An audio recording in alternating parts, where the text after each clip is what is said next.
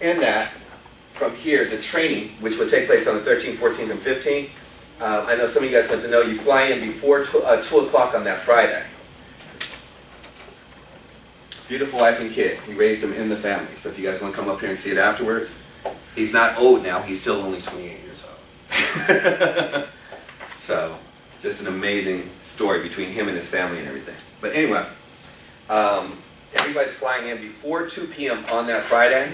And once I get a head count on all that, then in turn we're going to get SUVs and fly. And because a couple of my partners from Texas and New York are like, Mr. Nelson, do you know how much it costs to fly into Palm, Palm Desert? You don't fly into Palm Desert or Palm Springs. You fly into LAX and you drive into Palm Springs. It's about two hours away from LA. Is everybody with me on that so far? And so long as you get there before 2, I'm going to help put all that together. So that's like one of the things that only if you're serious and committed, because what I learned in any relationship, when people find value in it, it's never the money. Because I pay people 500 to go away. Are y'all following me on that so far? to a true leader, it, they really want to know, is it worth my time? And if you're serious, I prefer to go for a weekend to get 100% training and figure out that it's not for me than to spend six months floundering around trying to figure out if it's something I want to do. Yes. And if you go and spend that weekend with me and it, you, you do not get 100% out of that, everything I'm telling you, I will give you 100, I double your money back for any expense you took to come there. That's how sure I am because I'm part of the training. Is everybody following me? Yes? Mm -hmm. Okay. From here we got decision, we have the one-on-one -on -one meeting we have the training that we're, we're imposing upon. By the way, January is going to be ridiculous. You guys have an amazing stacked month to blow this marketplace up. I'm so excited about this market. I'm trying to get out the market, and they just keep bringing me back. They just keep bringing me back in. So the first Saturday of the month, I'm actually going to be here to launch our Saturday trainings. So that's going to be the 7th, I think. The very next yeah. weekend is mm-hmm. actually Palm Desert. The very next weekend, you're going to have Debbie Davis, who is the first woman vice president in the company who put the founders together, who is amazing, who's going to be here. The following Saturday after that, I'm coming back, which is the last Saturday of the month, which I'm then letting the whole city plug into what we're doing, which is the 28th. So you got four weeks of a complete blitz for everybody to get rich in January.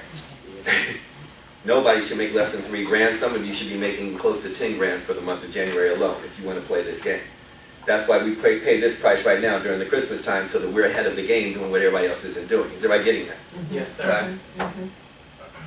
From here, of implementing and understanding the training process and launching this, the blast call. What is a blast call? It's a conference call. So I'm just going to use it as, as an example. In turn, I'm going to take Mikey. Mikey just saw the business. He's here for the first time today. In fact, I'm going to use yours again. What's your name? Priscilla. Priscilla, are you excited? Yeah. Okay. Do you know at least two or three people that you know need to make some money right now? She's like, I know. okay. So if I paid you $100 for every person that you could get on a phone with me, how many people could you get on the phone with me? Just to talk for three minutes. I would. A lot. A lot. Okay. So in that, I would give you a conference call number. The psyche behind a blast call, I call it a blast call, is if Priscilla knows that she wants to expose this to people, what would be easier to get somebody to drive 30 minutes to an hour to a place they don't know where they're going to hear about something they don't understand or get them to listen to a three to five minute conversation on a phone call?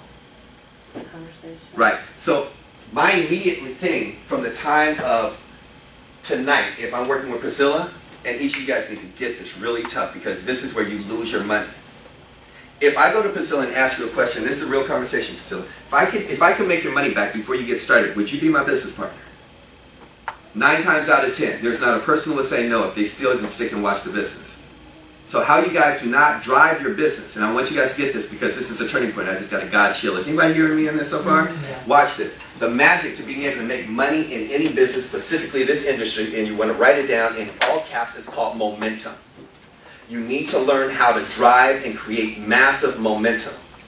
In the, in the universe of, of, of business, it's called critical mass. You want to get to the point where don't live off of what ACN is doing, don't live off of what Apple is doing, don't live off of what the rest of the business economic platform is doing. Oh, you got to get in on this. This is what's about to take place. That should be your conversation, not you getting in on that conversation. Your business will not take off until you make it take off.